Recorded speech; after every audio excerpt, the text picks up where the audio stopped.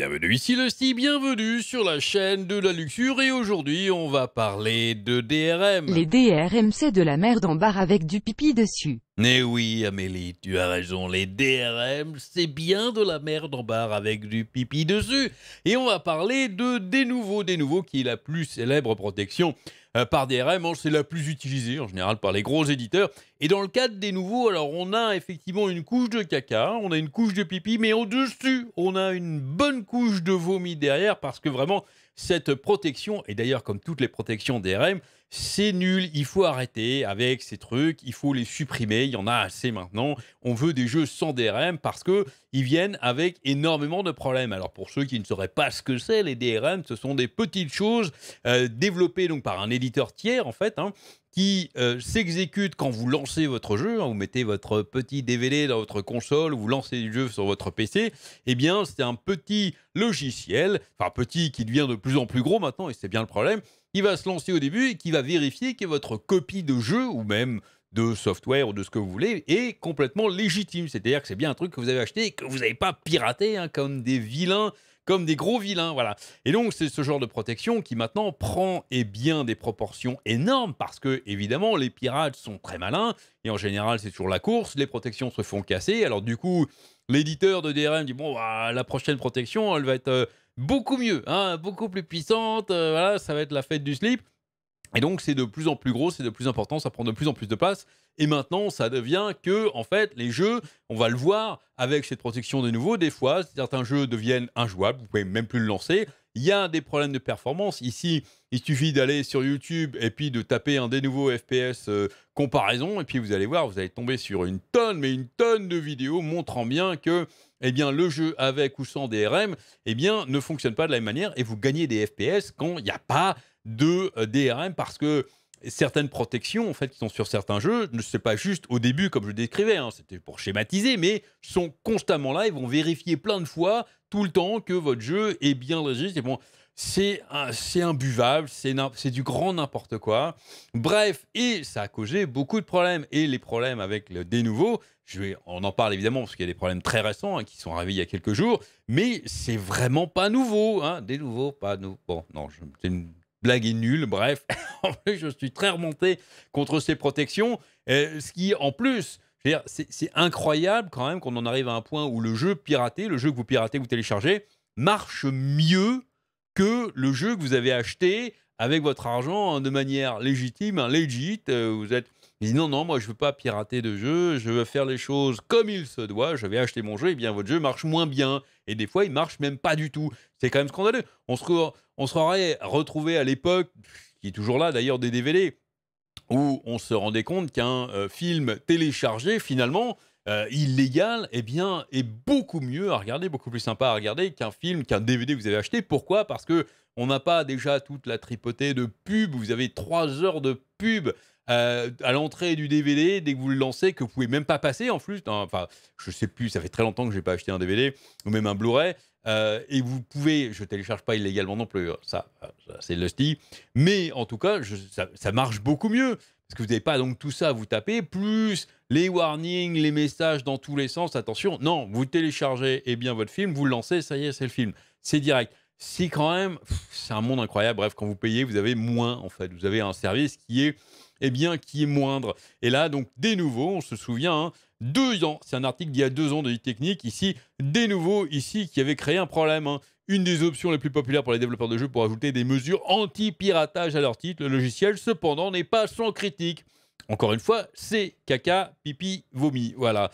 Par exemple, il existe un argument de longue date selon lequel son inclusion a souvent un impact significatif sur les perfs. Il semble cependant que l'arrivée de 2020 ait créé un tout nouveau problème au-delà du simple argument de l'impact sur les performances. Donc quel problème? Eh bien les gens découvrent que tenter de lancer leur jeu avec les dernières versions de des nouveaux au cours de cette nouvelle décennie les fait planter.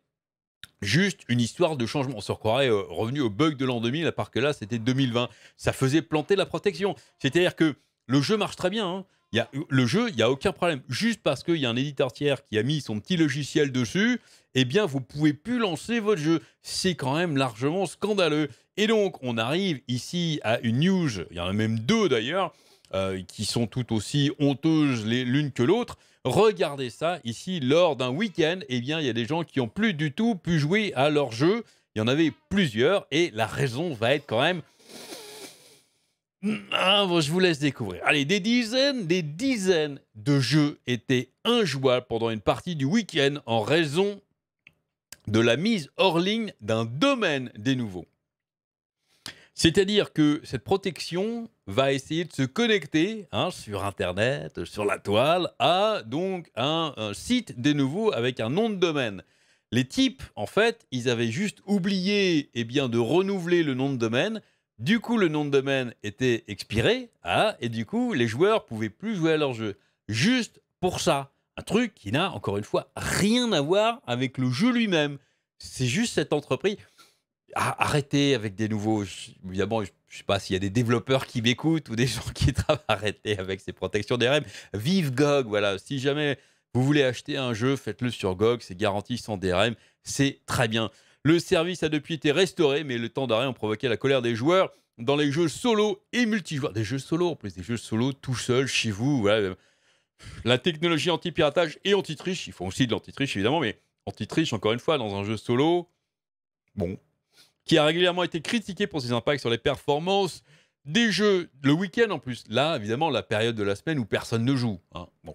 VGC rapporte que les joueurs se sont tournés vers les plateformes de médias sociaux comme Reddit et Twitter euh, pour signaler les temps d'arrêt de leurs jeux préférés. Ceci comprenait de nouvelles versions comme Football Manager 2022 et Marvel's Guardians of the Galaxy, ainsi que des titres plus anciens comme le jeu de combat Mortal Kombat 11 et le jeu de stratégie Total War Warhammer. Dans une déclaration fournie à PC Gamer, la société a déclaré un domaine des nouveaux était inaccessible hier après-midi. Le problème a été résolu après avoir été averti par notre système de contrôle automatique. Déjà, normalement, ça ne devrait pas arriver. Je, veux bien qu'il y ait un système de contrôle automatique qui a prévenu, alors qu'en réalité, c'est bien, c'est les joueurs qui ont prévenu dès le début, parce que renouveler un, nom de domaine, euh, ça prend pas très longtemps. Hein. Ça, ça prend vraiment très, pas du tout longtemps même. Euh, j'ai moi-même plusieurs noms de domaine. Je ne les donnerai pas, évidemment, c'est secret. Mais les renouveler, ça prend. Enfin, moi, en tout cas, ça me prend. Euh, en plus, ils sont en renouvellement automatique, les miens. Ah, je sais pas, hein. moi, je suis un humble utilisateur de nom de domaine qui n'a pas envie que son nom de domaine expire, je l'ai mis en renouvellement automatique.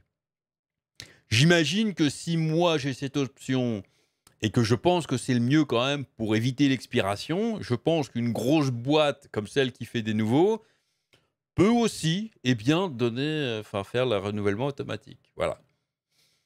Au moins, avoir, mettez sur votre calendrier, les gars. Hein. Vous... allez sur votre Google Calendar, un calendrier Google, et vous mettez un petit attention. Attention, le, nom de domaine va être. En plus, en général, les boîtes qui ont vos, noms de domaine, ils vous avertissent. Attention, le nom de domaine va expirer dans 15 jours, dans 8 on est dans l'amateurisme le plus complet. Et du coup, ça, hein, cet amateurisme-là, ça fait qu'il y a plein de joueurs qui n'ont pas pu jouer à leurs dizaines de jeux durant le week-end. Bien que des nouveaux ne le confirment pas, certains joueurs ont mis de l'hypothèse que le problème pourrait avoir été causé par l'expiration d'un domaine.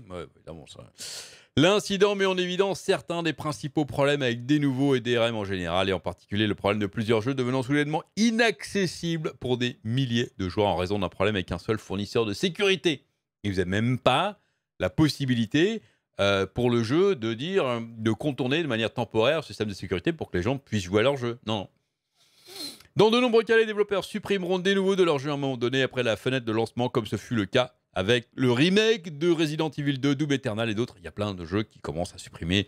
Euh, J'en donnerai quelques exemples. Et c'est très bien. Tous les jeux devraient supprimer ces DRM, ça ne sert à rien. Ce n'est pas toujours le cas cependant et les pannes de ce week-end n'aident pas à apaiser les frustrations existantes des joueurs concernant le logiciel DRM. Voilà, donc ça, c'était le premier petit truc qui arrivait. Maintenant, il y en a un deuxième. Et oui, c'est le deuxième effet qui se coule, puisque on a vu aussi un autre bug avec DRM ici. C'était un bug sur une puce. Eh oui, imaginez, imaginez, eh bien, vous voulez améliorer votre ordinateur. Et vous dites, ah, je vais acheter le dernier CPU, hein, le dernier processeur pour mon PC. Et puis voilà, vous l'achetez, vous l'installez, vous êtes tout content. Et là, eh bien, vos jeux ne marchent plus. À cause du DRM, encore une fois, oui, les processeurs Intel Alder Lake ne peuvent pas exécuter certains jeux en raison de DRM défectueux. Donc, du 5 novembre. 2021, Intel Alder Lake est enfin sorti il semble que le battage médiatique était bien justifié. Cependant, les puces de 12e génération ont apparemment des problèmes pour exécuter une poignée de jeux jusqu'à présent. Sont des très bonnes puces. Hein, bon, bref, Intel, ils font en général de la qualité quand même. Les jeux en question utilisent tous des nouveaux DRM, une mesure anti-piratage bien connue dans l'industrie. Selon Ars Technica, environ 50 titres sont concernés par le problème sur Windows 10 et Windows 11. Le problème est en grande partie dû à la façon dont Intel a conçu ses processeurs Alder Lake de 12e génération. Comme elles sont en grande partie basées sur ARM, les puces comportent une multitude de cœurs power ainsi que des cœurs efficiency. Ça, euh, hein, pour les spécialistes, évidemment. Intel a conçu les cœurs P et E des processeurs pour diviser les charges de travail et réduire la surcharge. Bon, le processeur a une nouvelle architecture. Le truc, c'est que les jeux, vous pouvez quand même y jouer. Hein. C'est juste le DRM hein, qui, euh, qui fout la merde.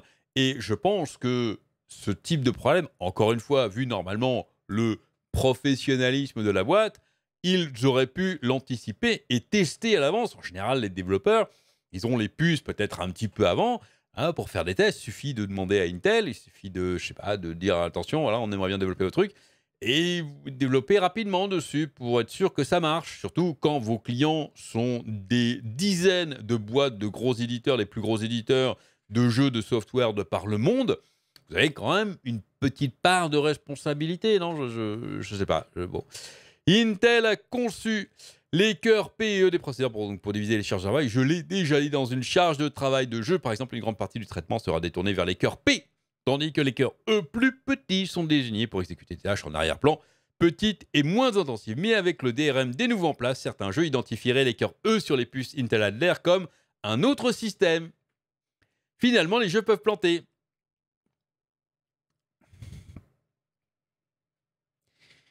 Bon, mais bref, bref. PC Gamer répertorie les jeux concernés pour les systèmes d'exploitation Windows 11 et Windows 10. Ah, Windows 11, en thème. Ah non Ah zut, on peut plus jouer en table. Ah, je. Non, c'est un Il n'y avait même pas besoin de le lister. Il est mort ce jeu de toute façon. il y a des gens qui jouent toujours euh, en terre. On va vérifier. Hein. Ah ouais, regardez. 30, 30 viewers quand même. Hein. Ça reste dans les moyennes de ce qu'il faisait avant. C'est marrant. Hein. Même depuis que le jeu est déclaré comme mort, c'est-à-dire qu'il va mourir bientôt. Hein. Il n'y a plus qu'une amélioration, il va s'éteindre doucement. Il y a quand même des gens qui continuent à jouer, il y a des gens qui continuent à regarder ça sur, euh, sur Twitch. C'est incroyable. Donc voilà, vous avez la liste ici. On a des, jeux euh, récents, encore Football Launcher, encore une fois, For Honor, le Random sur Windows 10. Ah, sur Windows 10, Anthem a l'air de marcher, décidément. Vous avez Far Cry New Dawn. Bon, pas une grosse perte non plus. Euh, FIFA 19, FIFA 20, c'est pas grave. Juste cause Monopoly. On peut plus jouer au Monopoly. Bref. Voilà, c'est quand même relativement euh, embêtant. C'est n'importe quoi. L'équipe bleue, l'équipe bleue a révélé qu'il travaillait avec des développeurs qui utilisent des nouveaux DRM sur leur jeu pour un correctif officiel. Le patch devrait arriver plus tard ce mois-ci, vers la mi-novembre. Allez, vous pouvez attendre, les gars. Vous n'avez pas besoin de vos jeux vidéo, de toute façon, les jeux vidéo, ça sert à rien. Il n'y a pas encore de date exacte car Intel n'en a pas fourni. L'un d'eux est Ubisoft qui est connu dans toute l'industrie pour son utilisation généralisée de des vive la France. Si vous le remarquez, de nombreux jeux de la liste sont des jeux Ubisoft. Cocorico. Des a une très mauvaise réputation dans le monde du jeu en raison de ses problèmes de performance apparents. Si pour une raison quelconque ce problème n'est pas résolu, cela pourrait sonner le glas de DRM controversé et forcer les développeurs à trouver d'autres alternatives anti-piratage. Incroyable. Les mecs ils disent alors vos jeux marchent plus, hein. Bon, très bien, vous pouvez plus jouer. Il dit, wow, on viendra avec un petit fixe euh, d'ici la fin du mois, les gars. c'est incroyable. Encore une fois, j'aime bien faire ce parallèle, mais ils vous font avaler des trucs et gober des trucs et accepter des trucs que, mais jamais personne n'accepterait avec un autre produit. Imaginez votre bagnole qui marche pas. Alors, c'est vrai que bien, une bagnole est quand même plus euh, essentielle qu'un jeu. Bon, très bien. Et dans ce cas, mais même un autre truc, hein, votre lave-vaisselle, votre euh, n'importe quel truc, vous seriez scandalisé par le fait de dire ah non, il marche pas, vous l'aurez à la fin du mois. Là, non, là, rebellez-vous. Récemment, Deathloop, merveilleux jeu, eh français en plus. Cocorico une deuxième fois. Et oui, très bon jeu d'ailleurs apparemment. Faut que je, faudrait que j'essaye d'ailleurs. Bref, Et il s'est pris quand même énormément de critiques sur Steam. Il s'est pris un petit review, petit review bombing sur Steam. Alors, pas pour le jeu, hein, on pourrait dire, ah, pourquoi le jeu, il y a des bugs, il y a des trucs qui marchent pas. Non, non, non, non, juste parce que, eh bien, le DRM des nouveaux causait des problèmes. Voilà. Juste à cause de ça, un truc qui n'a rien à voir avec le jeu. Et puis du coup, comme je le disais, hein, ce qui fait qu'il y a pas mal d'éditeurs maintenant qui ont dit bon allez zut, flûte, cacaboudin, je j'enlève cette protection qui cause beaucoup plus de problèmes qu'autre chose.